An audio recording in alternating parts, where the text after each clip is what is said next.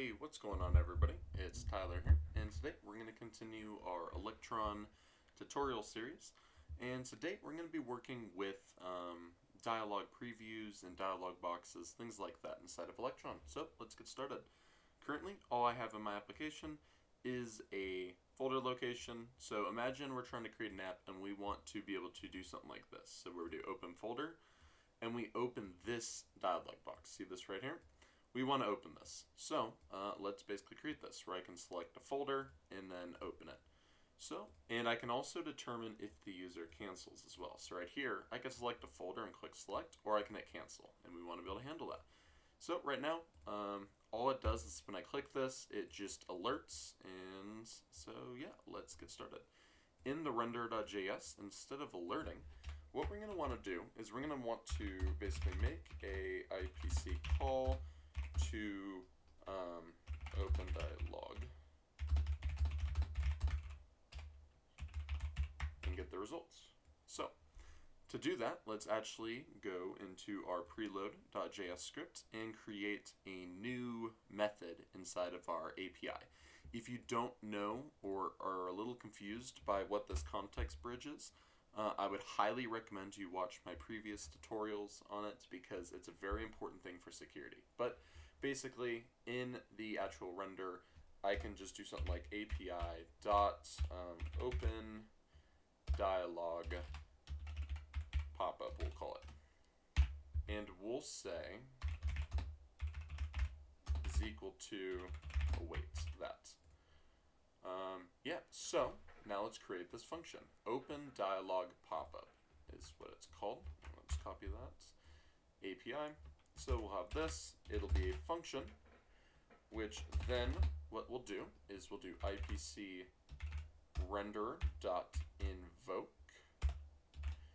and we'll do open uh, or select select folder, and we'll call this that as well. So instead of open dialog, uh, select folder pop up. It's probably better. Select that's a lot better of a name. Beautiful. So now that we have that, and in here, what we're going to do is we're going to do an IPC render.invoke. Again, I covered this in the previous episode. It'll return a promise.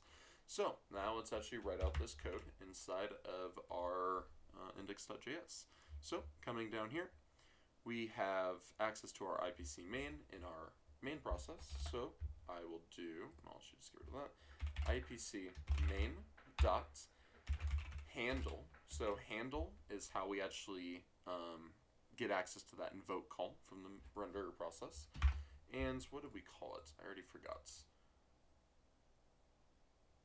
Oh, preload, sorry. There we go. Select dash folder, and I'll call it select folder pop-up. Beautiful. And we'll just pass in true by default. Okay.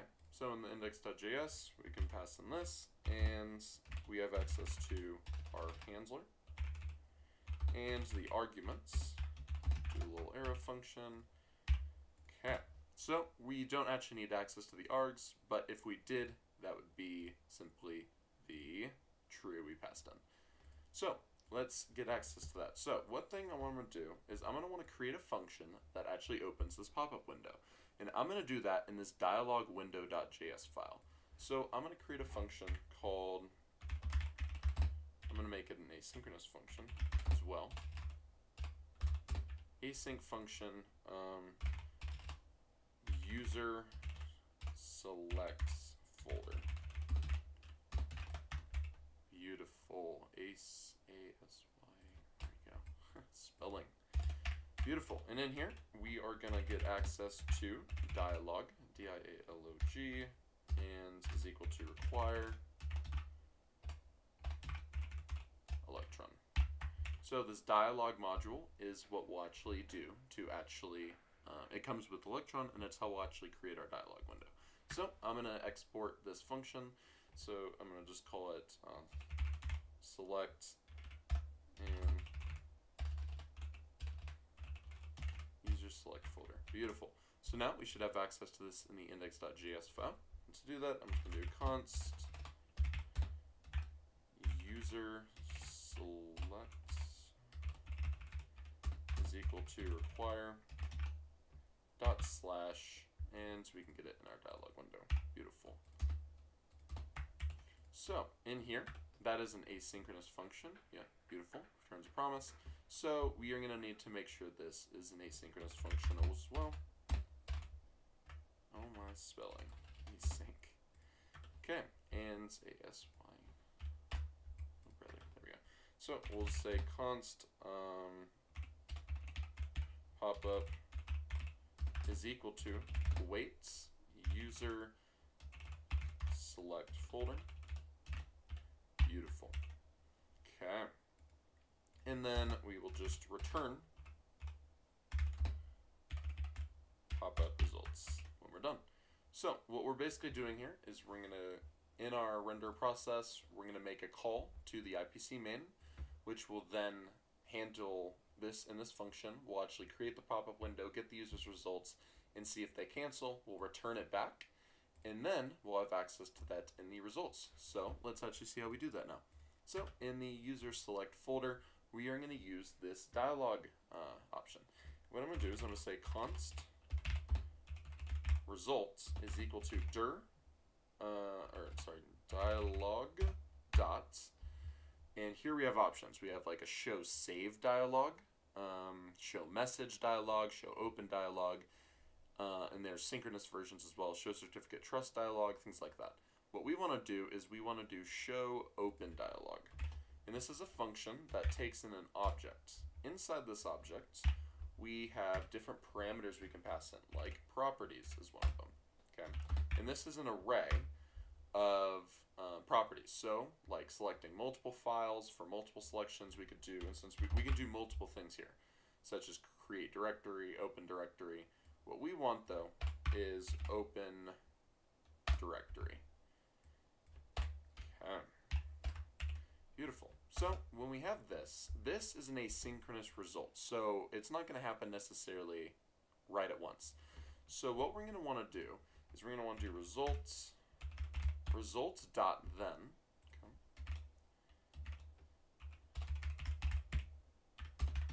Pass this into the error function, and we'll want to do results dot catch,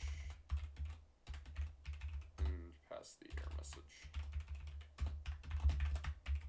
Beautiful. And what I'm going to want to do is I'm going to uh, resolve this as a promise. So I'm going to return a new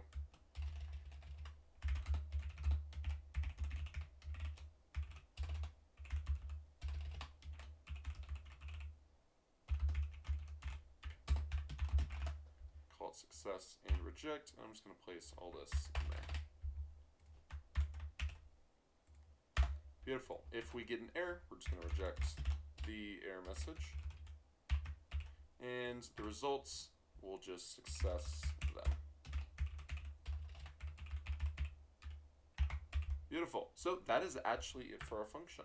What we're basically doing is we are opening a, or a, uh, pop-up window through that. We're making sure that it's a Windows um, pop-up window that says like open directory. So again, we do open folder, this is an open directory thing. If we were doing like a save one, we would do save, whatever.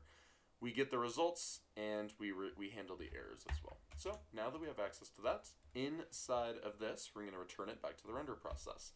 Now that's actually all we really need. In fact, inside the render process, when I do npm start, beautiful, and we actually do this, you can see we get a select folder window, which is very good which means I can select a folder such as my desktops. And if I select, nothing happens. And that's by intention. We're just saving the results, but we're not actually doing anything with it. And let's actually do something with it. And I figured to actually do this demonstration, we would put whatever file we grab inside of this folder location input field. Um, and just kind of show it to the user that, hey, this is the file you grabbed, kind of thing. So I'm going to add an ID to this inputs and call it um, uh, folder folder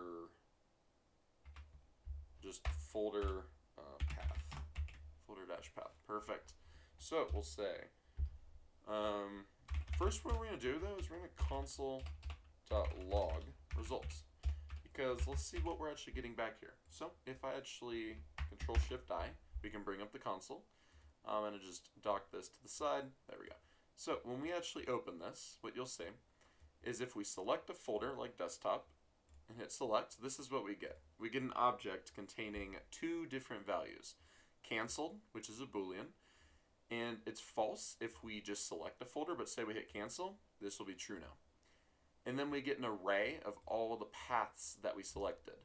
In our dialog window, we had the option to have multiple selections, but this array will only be of one length or zero length, depending on if we cancel or not. So yeah, let's get access to that. What we're going to do is we're going to check if the results, results.canceled, C-A-N-C-E, if result.canceled, I think is what it was.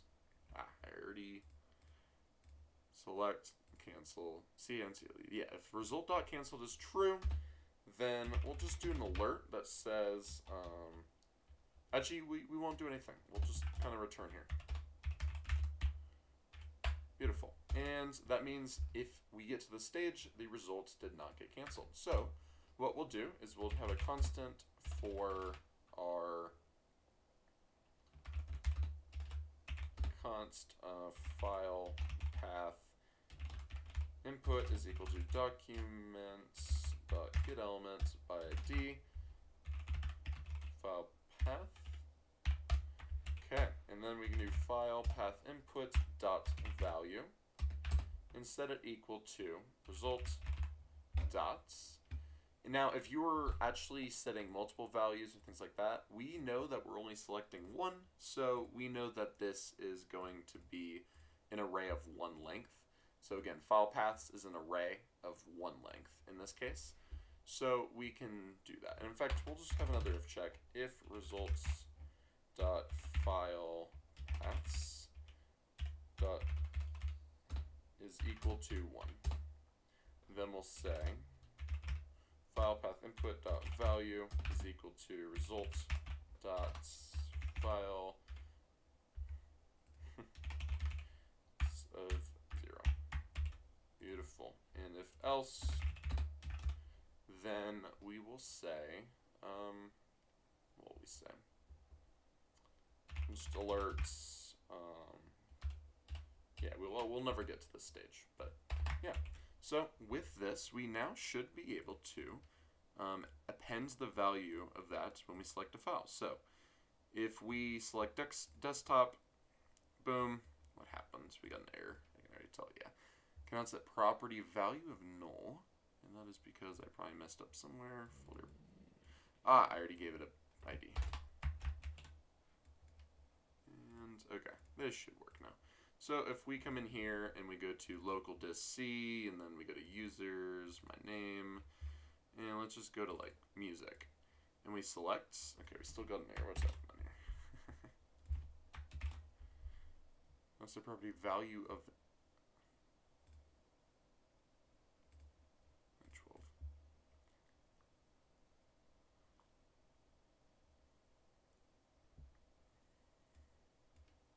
File path. Oh, it's folder path. Okay. uh, there we go.